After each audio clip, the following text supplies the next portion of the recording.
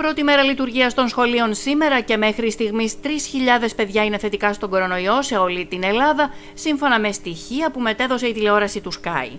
Θετικά κρούσματα μεταξύ μαθητών βρέθηκαν και στις ΣΕΡΕΣ, καθώς 25 μαθητές μέχρι τις 12 το μεσημέρι είχαν φτάσει στο νοσοκομείο Σερών για επιβεβαίωση του αποτελέσματος από το ιδιωτικό τεστ.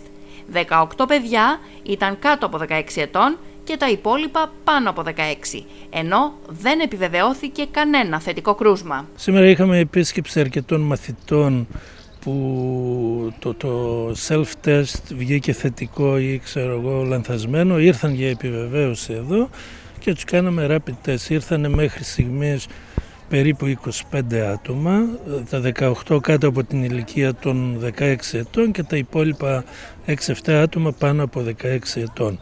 Γίνεται ο έλεγχος και επιστρέφουν.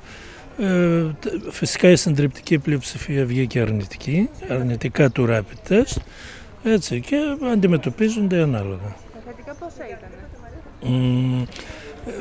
Ε, δεν πρέπει να είχαμε θετικά. Ναι, ναι, ναι. Εκτός αν είχαν συμπτωματολογία τα ελέγχουμε και με το PCR test. Όπως ξεκαθαρίζει ο κ. Μπαλαξής, δεν φταίει η συσκευή του self-test, καθώς παίζουν ρόλο πολλοί παράγοντες στη διαδικασία. Υπάρχουν πολλοί παράγοντες. Ο τρόπος λήψης, ο τρόπος που γίνεται. Δηλαδή ας μην ρίχνουμε το σφάλμα στο υλικό και στα, ε, στη συσκευή των self-test. Έχει, έχει μεγάλη σημασία και πώς θα γίνεται. Πώς θα γίνεται η λήψη, έτσι, ε, τι χρόνο θα περιμένουμε, πρέπει να εκτελούνται κανονικά οι οδηγίες που περιγράφει το τεστ. Ο κύριος Μπαλαξής πάντως ζητά από τους γονείς να κάνουν άφοβα το self-test. Οι γονείς φοβούνται να κάνουν το self-test στα παιδιά τους, καθώς νομίζουν πως κάτι υπάρχει στην πατονέτα, μία ουσία. Ε, εσύ σαν γιατρός... Να μην φοβούνται καθόλου, τα τεστ αυτά είναι ελεγμένα και παρέχουν ασφάλεια.